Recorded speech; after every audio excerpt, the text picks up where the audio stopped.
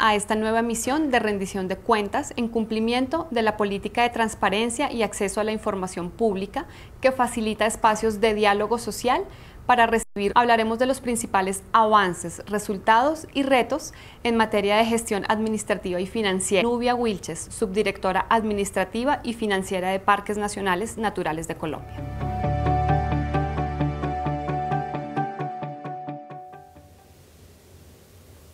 Buenos días, financieros y de contratación. Iniciaré por el tema de gestión presupuestal.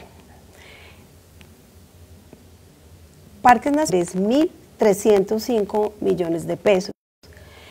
De estos recursos, 50 mil, la cuenta más representativa, la de de personal con 38.909 millones de pesos.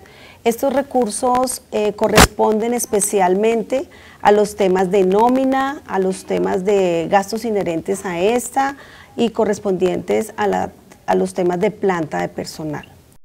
La ejecución de estos recursos en los gastos de funcionamiento alcanzó un nivel de compromisos en la vigencia 2021 del 91%, con unas obligaciones, es decir, pagos del 91% también. Para el caso del presupuesto de inversión, la inversión eh, corresponde a 112.540 millones de pesos. Estos 112.040 eh, millones de pesos se comprometieron 92.562 millones con una ejecución del 82% y un nivel de pagos del 74.994 que ascendió al 67%.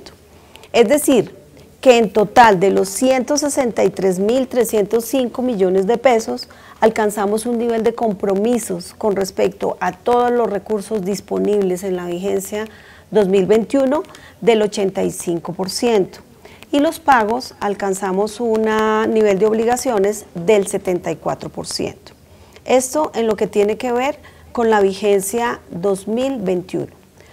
Para el caso de la vigencia 2022, en lo que va corrido del año, tenemos una apropiación disponible de 185.180 millones. Estos son los recursos con que Parques cuenta para poder adelantar toda su gestión. De estos recursos, 52.263 millones corresponden a los gastos de funcionamiento. Como ya lo mencionaba, eh, los gastos de funcionamiento eh, en su gran mayoría corresponden a los gastos de nómina y todos los inherentes a estos. Allí también tenemos algunos gastos generales, es decir, los arriendos, los servicios públicos, los seguros, pero el más representativo dentro de los gastos de funcionamiento corresponde a la nómina. Para el caso de inversión, también contamos nosotros con unos recursos del presupuesto de la Nación y contamos con unos recursos del FONAN. El Fondo Nacional Ambiental recibe unos recursos que son propios de la entidad, propios de la dinámica de parques, siendo los más representativos el tema de los ingresos a las áreas protegidas.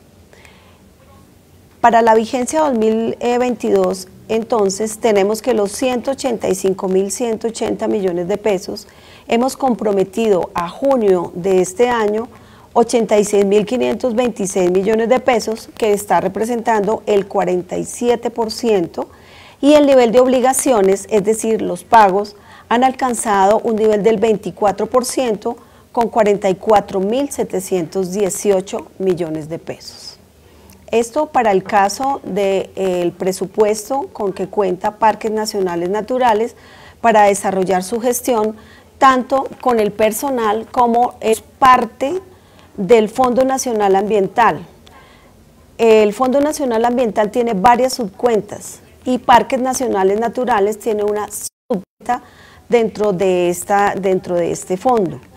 En, esta subcuenta del FONAN es donde se reciben todos los recursos eh, propios de la gestión de parques, es decir, los derechos de ingreso a las áreas, las contribuciones del sector eléctrico, las concesiones, las tasas por uso de ingreso a las áreas protegidas. Para el caso del año 2021, el total de recursos percibidos por esta subcuenta de Parques Nacionales Naturales del FONAN fueron 30.240 millones de pesos. De, esos eh, se ejecutaron en su totalidad estos ingresos, porque estos, estos ingresos entran a la subcuenta de parques y parques los ejecuta, digamos, en algunas de sus necesidades, sobre todo para las áreas protegidas. Para el caso de la vigencia 2022, en lo que va corrido del año, tenemos que hemos recibido 16.475 millones. De estos recursos, el más representativo sigue siendo los derechos de ingreso a las áreas protegidas, seguido de las contribuciones del sector eléctrico. Estas contribuciones del sector eléctrico son los ingresos que se perciben por las hidroeléctricas en los sitios donde tenemos estas hidroeléctricas, se pasa un recurso a esta subcuenta para que nosotros con estos recursos mantengamos y protejamos, eh, digamos, este, en este momento las áreas que estarían afectando estas, estas eh, microcuencas. Las concesiones también es un rubro importante dentro de los ingresos al FONAN y la tasa por uso de agua también es muy representativa dentro de los ingresos, especialmente la que se recibe para el caso del Parque Nacional Natural Chingaza, de la empresa de acueducto y alcantarillado de Bogotá. Esto en lo que tiene que ver con los recursos eh, propios que maneja la subcuenta del FONAN. En cuanto a la gestión contable, es importante mencionar que aquí tenemos las cifras más representativas de nuestra gestión contable. Es decir, eh, que tenemos los activos, los pasivos, el patrimonio, tenemos los ingresos y los gastos. En el caso eh, particular de la vigencia 2021, tuvimos unos activos por 108.800 millones de pesos, unos pasivos de 39.249, un patrimonio de 69.551, unos ingresos de 123.000 y unos gastos de 122 mil millones de pesos. Esta, esta situación contable lo que nos está reflejando es el valor de los recursos públicos representados básicamente en los bienes y derechos, eh, deduciendo algunas obligaciones y esto es lo que nos representa exactamente los recursos efectivos para desarrollar nuestra función dentro de la gestión que realiza Parques Nacionales Naturales de Colombia. Lo mismo eh, sucede con los recursos eh, que contamos con el FONAN tenemos unos activos, estos activos se ven reflejados básicamente en el tema de propiedad, planta y equipo, tenemos unas obligaciones, tenemos también eh, unos ingresos, como ya lo mencioné anteriormente, los detallados, y eh, estas son las cifras que estamos mostrando a 31 de mayo del 2022, también para la subcuenta del FONAN. En lo que tiene que ver con los gastos de personal, como ya lo mencionaba, siendo el rubro más importante dentro de los gastos de funcionamiento o que, que tiene el mayor número de recursos, se encuentra la planta de personal de Parques Nacionales Naturales. Es importante mencionar que Parques Nacionales acaba de, de culminar un proceso de reorganización que le llevó dos años, dos vigencias para culminar este proceso de reorganización, la vigencia 2020 y la vigencia 2021. Fueron dos fases en las cuales se implementó este proceso de reorganización, se materializa con el decreto 1313 del 2020 y con el decreto 1291 del 21, de la vigencia 2021. ¿Y en qué consistió este proceso de reorganización? Este proceso de reorganización lo que, a lo que nos llevó fue a incrementar el número de cargos en la planta de personal y a nivelar, que es algo eh, muy importante para nuestras áreas protegidas, a nivelar en cada una de nuestras áreas protegidas algunos cargos, como son eh, los cargos de jefes, los cargos de técnicos y los cargos de operarios. Es muy importante mencionar este tema porque fueron alrededor de 35 cargos de jefes, alrededor de 22 cargos de técnicos y nivelamos 75 cargos de operarios. dentro de las áreas eh, de parques nacionales naturales de Colombia, unas plantas de personal y que contamos con, eh, digamos, unos cargos que hace mucho tiempo estábamos trabajando en esta nivelación y por fin con la materialización de estos dos decretos que ya mencioné, se logra eh, tener esta, esta materialización de la reorganización de la entidad. Adicional a esto, se incrementaron 50 eh, cargos y llegamos al resultado de la planta de personal de parques. Parques eh, entonces cuenta con 660 cargos en la planta de personal. Tenemos 523 eh, cargos vacantes en, este, en la vigencia del 2021 y tenemos para la vigencia del 2022 tenemos eh, vacantes también 530 cargos provistos y un número de vacantes de 130 cargos vacantes en este momento.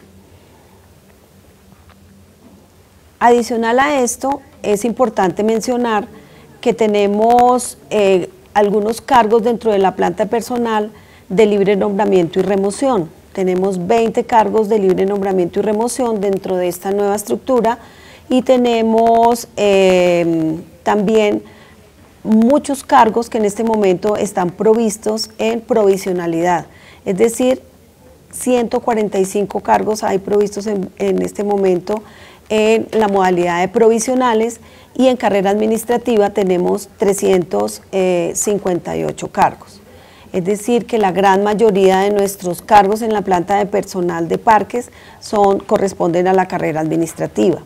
Y en este momento estos 145 cargos que tenemos en provisionalidad están surtiendo un proceso de concurso abierto, o, eh, es obligatorio y lo manda la ley, y lo estamos realizando con la Comisión Nacional del Servicio Civil para que estos 145 cargos eh, los podamos tener también eh, provistos como carrera administrativa. Es así como eh, tenemos un número de cargos provistos de 523 y de 137 vacantes en la vigencia 2021 y para la vigencia 2022 tenemos 530 cargos provistos y el número de vacantes son 130 cargos vacantes dentro de nuestra nueva planta que corresponde a 660 cargos. Ahora en lo que tiene que ver con la contratación, la contratación básicamente se da eh, por el tema del presupuesto de inversión, en donde tenemos dos proyectos de inversión que eh, apuntan a los temas misionales de la entidad. Es así como eh, hemos logrado, logramos en la vigencia 2021, 2.124 procesos con un valor de 74.476 millones. Este, esta cifra está consolidando todo el país las seis direcciones territoriales y el nivel central. Y en lo que va corrido de la vigencia de enero a junio, tenemos 1.245 procesos eh, realizados con un valor de 41.915 millones. De estos 1.245 procesos, 1.066 corresponden a contratación directa por un valor de 37.906. Esta contratación directa básicamente está establecida en los contratos de prestación de servicio y le sigue eh, la menor cuantía y en lo que va corrido de la vigencia 2022 tenemos 39 procesos de acuerdo marco de precios.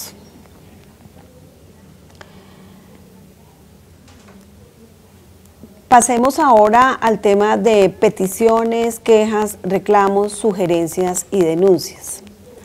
Aquí tenemos la estadística de cada una de nuestras consultas, denuncias, peticiones. Es decir, que en la vigencia 2021 y 2022 eh, tuvimos 386 consultas, en lo que va corrido de la vigencia 2022 tenemos 100, denuncias 45, en lo que va corrido de la vigencia 8, peticiones de interés general 286, 89 en la vigencia 2022, en eh, solicitudes 355 y 116, para un total general de nuestras quejas, reclamos, sugerencias y denuncias de 1.287 atendidas en la vigencia 2021 y 414 atendidas en, la, en lo que va corrido de la vigencia 2022. Es muy importante mencionar a toda la ciudadanía que en este momento Parques Nacionales cuenta con una herramienta muy importante que son las encuestas de satisfacción de calidad en las respuestas de las PQRs.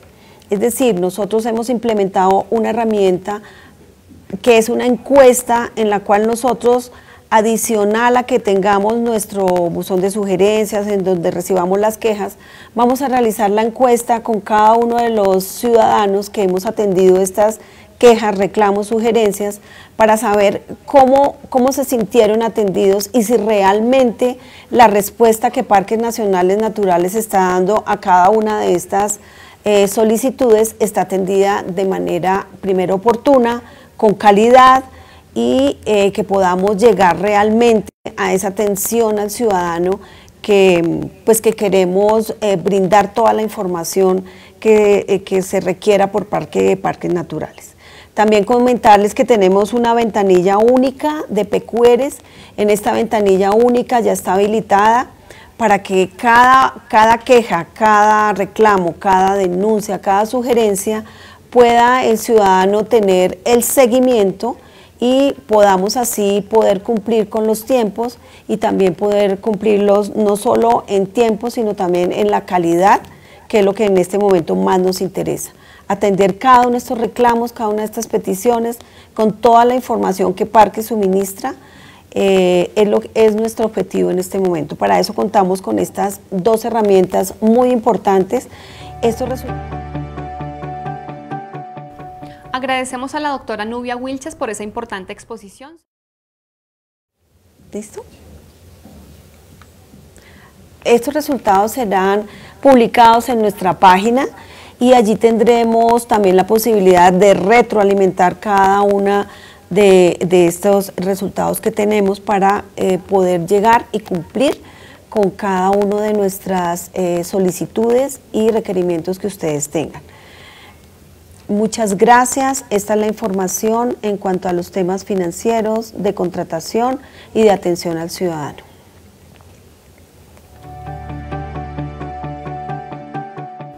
Agradecemos a la doctora Nubia Wilches por esa importante exposición sobre los temas administrativos de la entidad. Ahora quiero invitar al doctor Juan de Dios Duarte de la Oficina Asesora Jurídica para que nos comparta los avances de la entidad. Jurídica de Parques Nacionales. Vamos a hacer nuestra rendición de cuentas en tres grandes bloques. Uno, desde el componente de gestión normativa.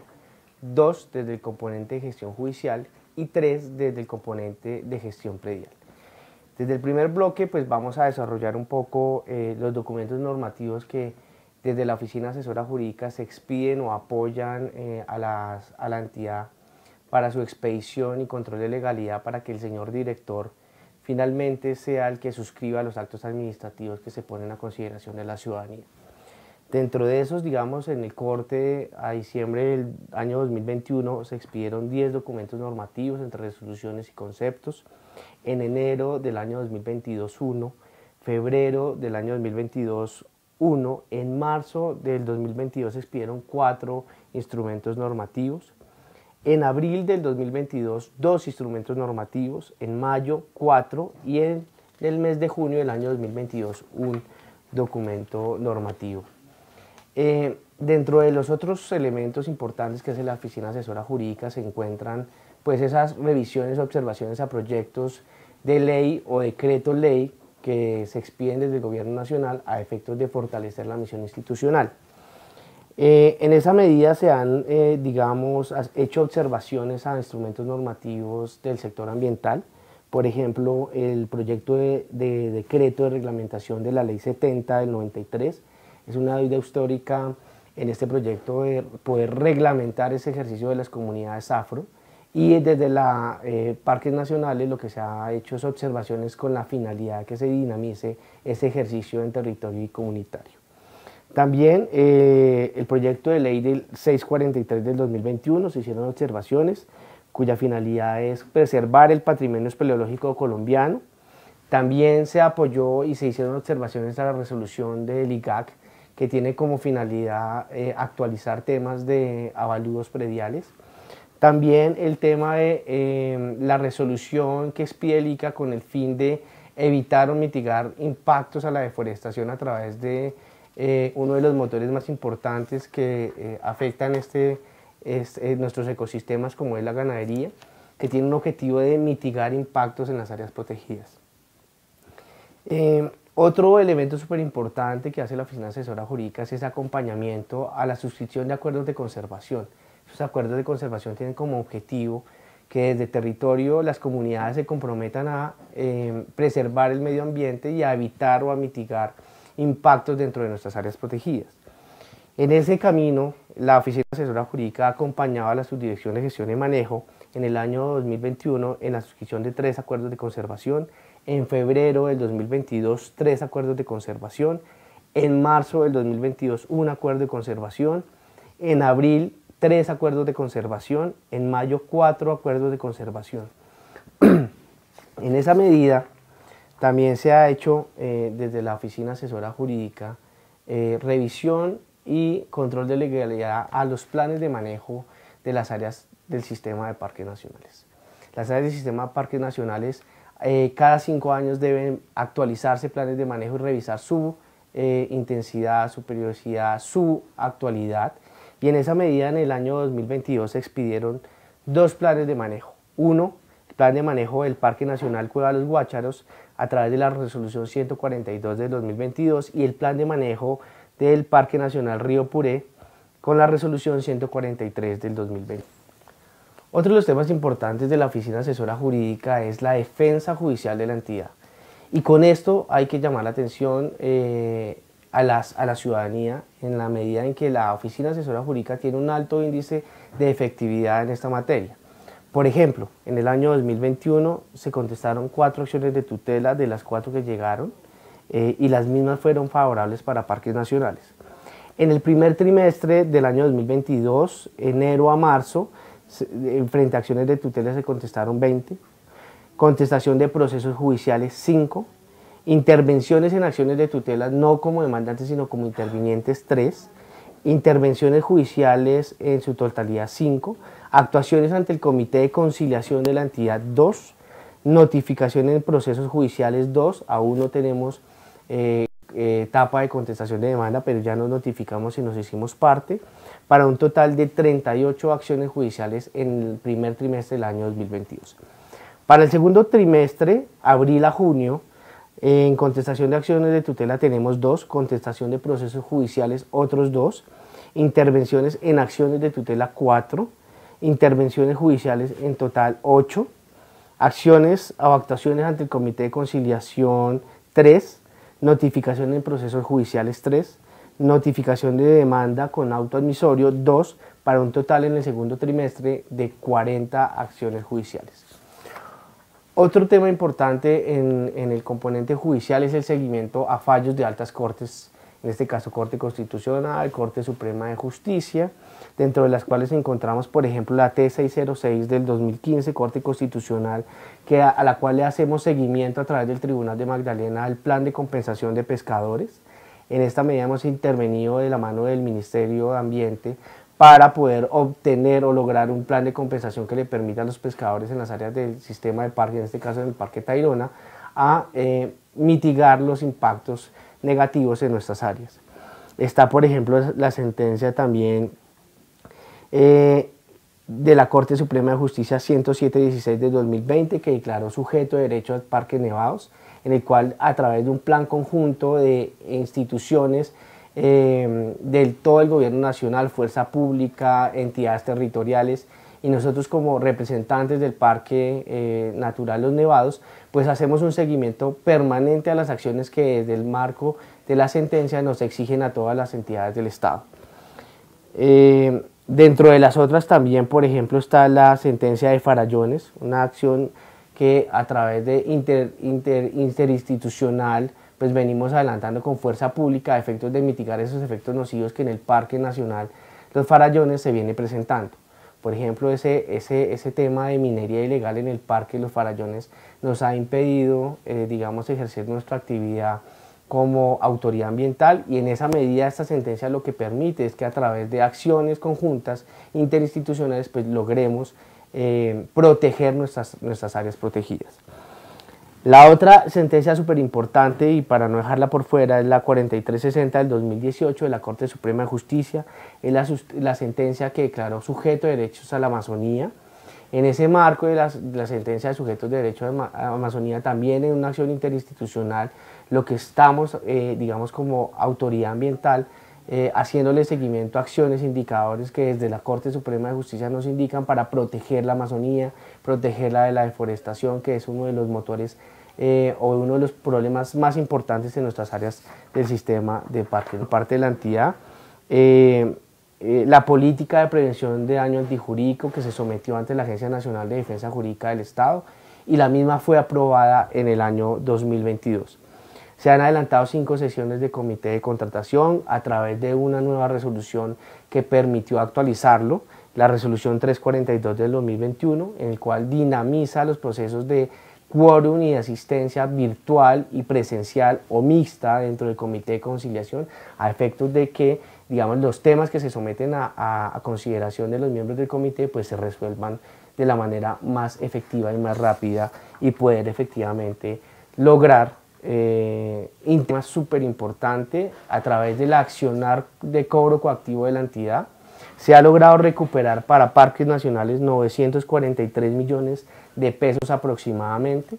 Esta es una cifra histórica en la entidad y lo que permite es que ese accionar de la entidad y de los profesionales de la Oficina Asesora Jurídica, pues a lograr que el patrimonio de la entidad no se vea menoscabado o afectado. Este es un tema súper fundamental dentro de la oficina, restitución de tierras.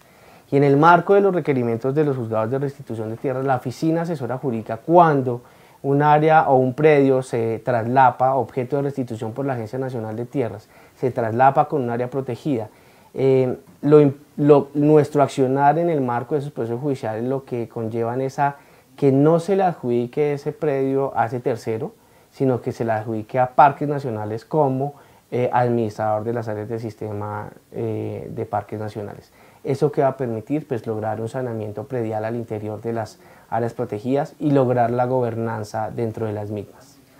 En cuanto a procesos penales, la Oficina Asesora Jurídica después de la delegación que nos hace el señor director a través de la resolución 388 del 2021, pues la Oficina Asesora Jurídica asume el liderazgo de los procesos penales que se adelantan en el marco del accionar, del accionar eh, sancionatorio de la entidad, es necesariamente iniciar esas acciones de índole penal a efectos de que se castiguen con vehemencia esos delitos contra el medio ambiente. En esa medida, la por apropiación en un proceso en un proceso de amenazas contra funcionarios, en un proceso, en proceso contra violación de los recursos o extracción de recursos naturales, en un proceso se logró una condena favorable en el año 2022 y contra eh, daños a los recursos naturales como contaminación, explotación ilícita, yacimientos mineros, nos eh, hicimos parte en un incidente de reparación en el año 2022. En este accionar también se ha apoyado a la Fuerza Pública y a la Fiscalía General de la Nación en eh, las operaciones artemisas. Nosotros como entidad técnica impedir o lograr capturar esas estructuras criminales que afectan nuestras áreas protegidas, bien sea por defaultado desde el año 2021 y el año 2022, dos operativos en Sierra de la Macarena y un operativo en el Parque Nacional Tinigua. Igualmente hicimos una intervención o apoyo a la operación ETER en su segunda versión en el Parque Nacional Natural Tuparro. Eso ha permitido que en el marco de estas actuaciones se eh, logren capturas de personas que atentan contra los recursos naturales y efectivamente se logren desarticular esas estructuras criminales que afectan las áreas protegidas. Otro de los temas importantes de la Oficina Asesora Jurídica es el tema predial, adquisición, compra de mejoras y donaciones dentro del área del sistema de parques nacionales. En este camino, desde diciembre del año 2021 a junio del año 2022, se han adquirido un total de 11 predios para un total de 3.523 hectáreas así. En el Parque Nacional Tairona, un predio con 10 hectáreas. En el Parque Nacional Chingaza, un predio con 332 hectáreas.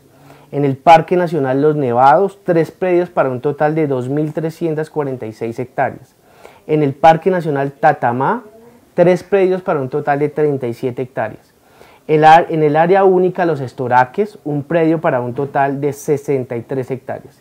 Y en el Parque Nacional Natural Yariguíes, un total de 732 hectáreas por la compra de dos predios.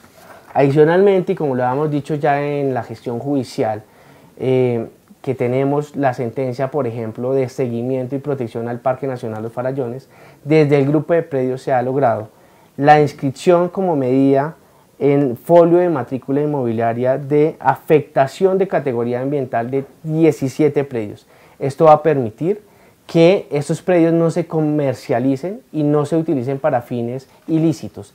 Con la afectación de categoría ambiental se está protegiendo que las áreas protegidas no se usen para eh, delitos de cierta naturaleza. Por ejemplo, se estructuren, se hagan infraestructuras al interior de áreas protegidas, se lo obtiene el Parque Nacional. Esto va a permitir con la afectación que las personas y que los ciudadanos no se vean afectados o engañados en su buena fe y adquieran predios al interior de los parques nacionales. Dentro de la gestión jurídica de la Oficina Asesora Jurídica de Parques Nacionales se encuentra el apoyo a la Subdirección de Gestión y Manejo en la ampliación o la declaratoria de nuevas áreas del sistema de parques nacionales. Dentro de la ampliación encontramos, por ejemplo, la ampliación del área única Los Estoraques con 391 hectáreas aproximadamente, la ampliación del distrito de manejo integrado Yurupari-Malpelo con una ampliación aproximada de 9.611.000 hectáreas, el santuario de fauna y flora Malpelo con un área aproximada de 2.095.000 hectáreas. También la creación de un nuevo distrito de manejo integrado Colinas y Lomas con un área aproximada de 2.761.000 hectáreas y la creación de la Reserva Natural Cordillera Beata con una, con una creación de aproximadamente 3.312.781.000 hectáreas aproximadamente relacionadas con los temas tratados el día de hoy. ¿Qué mecanismos jurídicos utiliza Parques Nacionales Naturales de Colombia para sancionar a quienes infringen las leyes ambientales? Parques Nacionales tiene dos mecanismos fundamentales. El primero es el proceso administrativo sancionatorio que adelanta en contra de personas naturales o jurídicas que atentan contra los recursos naturales dentro de las áreas del sistema de parques nacionales. En estas actuaciones administrativas se ha logrado sancionar a empresas y a personas naturales que realizan actividades ilícitas o ilegales o prohibidas dentro de las áreas del sistema de parques nacionales. El otro accionar importante es la denuncia penal. Parques nacionales naturales, como víctima de los delitos ambientales causados en nuestras áreas protegidas, se hace parte dentro de las denuncias penales para que las personas que cometen estas conductas delictivas sean condenadas. En el marco de este accionar, en el año 2021 se expidió la ley 2111 del 2021, en la cual eh, se fortalece el accionar de las autoridades ambientales para denunciar estas actividades ilícitas o ilegales dentro de las áreas del sistema de parques nacionales. Eso demanda un compromiso de las autoridades ambientales como parques nacionales para denunciar estos hechos y que efectivamente las personas naturales o jurídicas que cometen daños contra el medio ambiente sean castigadas con severidad. Hola, quisiera saber cómo conocer las vacantes y postularme para trabajar en parques nacionales de Colombia.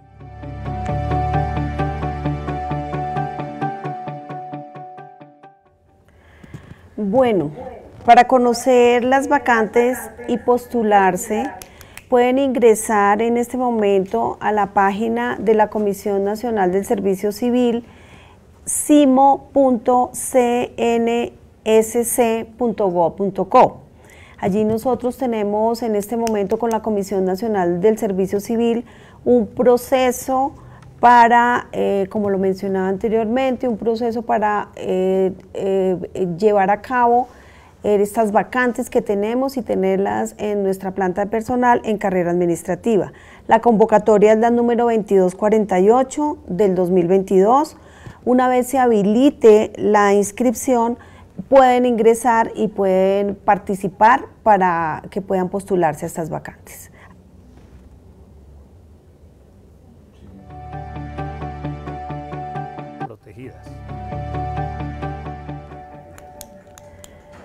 Muchas gracias por esta pregunta. Parques Nacionales Naturales de Colombia, como ya lo mencionaba el doctor Juan de Dios, tiene una extensión en todo el territorio nacional y no es suficiente la planta de personal para atender todas estas necesidades.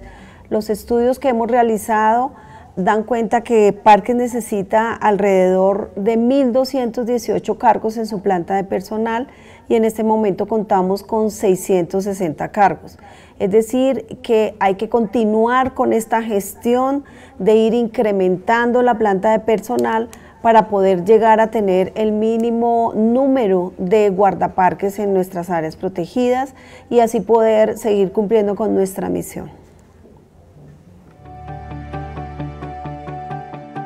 Muchas gracias, doctora Nubia y doctor Juan de Dios, por sus intervenciones.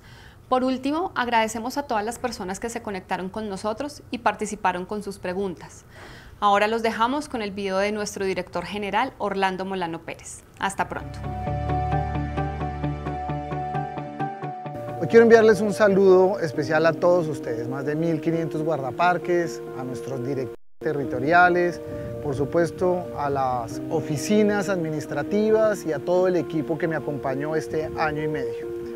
Logramos mucho, nos faltó mucho también, pero hicimos un esfuerzo por lograr cosas muy importantes, la política del SINAP, el COMPES, eh, el tema de restauración, por supuesto el bienestar de ustedes. Ustedes no se imaginan el esfuerzo que hicimos para lograr que ustedes tuvieran mejores uniformes, mejores colchones, eh, sus camelback, la infraestructura, todo el palo que nos dieron y que me dieron en particular. Ustedes saben que lo hicimos cumpliendo todas las normas de parques nacionales con nuestra infraestructura liviana y nuestro logro más importante, nuestro 30-30. Hoy contamos con más de 38 millones de hectáreas. Un reto para ustedes que continúan. Simplemente hoy, ya a pocos días de mi salida, quiero darles infinitas gracias por su generosidad para quiero darles las gracias por todo lo que me enseñaron. Me enamoré día a día de parques nacionales. Cada vez que visitaba un área, me faltaron muchos.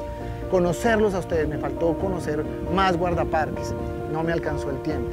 Pero quiero darles infinitas gracias de verdad por todo el esfuerzo, por todas sus enseñanzas y todo lo aprendido de ustedes. Sigan protegiendo, como siempre lo he dicho, nuestro patrimonio natural y cultural. Pero sobre todo, Quiero darles las gracias desde el corazón por todo lo que hicieron y todo lo que hicimos juntos con ustedes, con sus familias, para lograr estos objetivos que nos puso el señor presidente. Eh, y hoy que me despido con el corazón en la mano, un poco además sentimental también, eh, darles las gracias de verdad a todos y cada uno de ustedes. Mil y mil gracias.